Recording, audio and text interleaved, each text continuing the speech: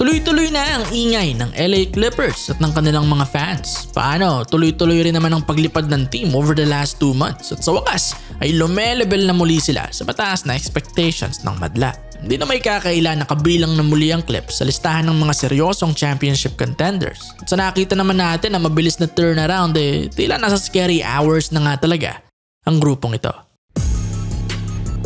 Tila roller coaster ang pinagdadaanan ng Kawhi Leonard at Paul George era ng Clippers. Mula na mag-team up ang dalawa noong 2019 ay championship or bust na ang tema. At unfortunately ay panay bust ang nangyari every single year although kadalasan din ay gawa ng injuries. By 2023 nga ay medyo naumay na ang mga tao sa Clippers gawa ng load management sa regular season at injuries pagdating ng playoffs ni Kawhi at PG. At kahit nung nakuha na nila si Harden hindi pa rin nawala ang duda at nagtuloy-tuloy pa nung mag-losing streak sila after ng acquisition.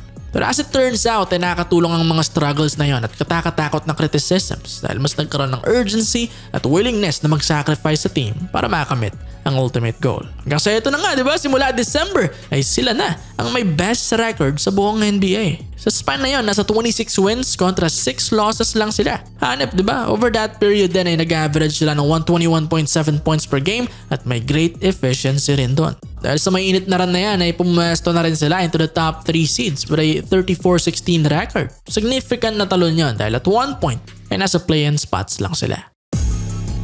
As expected, nangunguna sa pagbulusok ng Clippers ngayon si The Claw, Kawhi Leonard, na nagpamalas ng napakasimple yet effective na presence on both ends. Mula December, nag-average si Kawhi ng 26 points, almost 2 steals at 1 block. Hindi man yan kasing impressive kumpara sa ibang superstars ngayon, pinaparesan naman niya ng super efficient percentages. Kung halos lahat hirap na hirap makapasok sa 50-40-90 stretch over a couple of games, itong si Leonard ay parang walang effort sa kanilang last 28 outings. Makakabilib talaga at para bang possess ang mamang ito this season. Ramdam ang frustration niya from his injuries at ito na nga siguro ang time niya para ma-reclaim ang place as one of the true elites.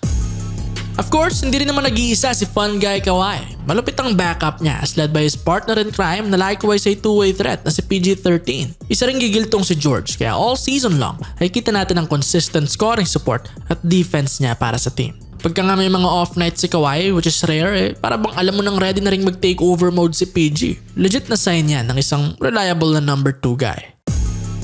Napakalaking bagay rin para sa early success ng team ang pag-transition ng other half ng Big Four. Si Russ talagang in-embrace niya na maging role player at energy guy. Nung nagka-problema nung umpisa, di ba nag-volunteer siyang maging sixth man na lang. At simula nun, kahit bumagsak ang production niya, di hamak na gumanda naman ang laro nila as a team. Mula sa 3-7 na start, biglang 31-9 naman sa next 40 games. Hanap na turnaround.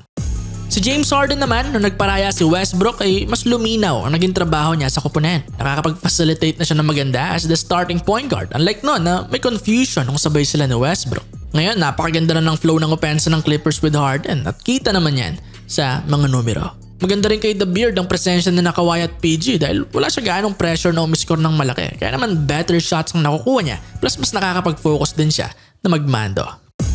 Pero heto ang pinakamahalaga para sa Clippers ngayong season. Healthy ang kanilang team, specifically ang kanilang mga stars. Biruin nyo si PG, tatlo lang out of 50 games ang minintis. Si Kawhi apat lang abang sina Harden at Westbrook ay wala pang inupong laro para sa Clippers this season.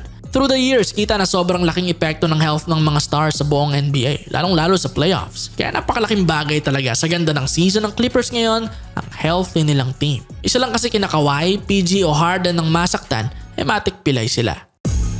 Do kumpleto man o hindi, mapapalaban talaga sila sa West. Hindi pa rin sigurado ang finals. So far 21-12 sila kontra sa mga Western teams. At again, sa kasama nila sa top 10 ay may 11-10 record lang sila. Indikasyon na hindi magiging madali miski sa early rounds ng playoffs. Pero sa tanong kung title contender ba sila this season, masasabing oo as long as healthy ang team. Pero masyado rin kasing malakas ang West para sabihin guaranteed ang deep playoff run at walang upsets na mangyayari. Kaya we'll see. Basta nasa Clippers lahat ng tools ngayon to compete para sa championship. May great superstars, good supporting cast at coach. Time na lamang talaga makakapagsabi kung hanggang saan sila. Championship or bust. Doblehin ang thrill sa panonood ng basketball, hulaan kung sino man nanalo sa laro. Sa NBA man yan, PBA o kahit anong game. At kung tama ka, kikita ka. Up to 6,000 pesos din ang first cash and bonus. Kaya mag-register na sa 1xBet gamit ang ating link at promo code sa ibaba.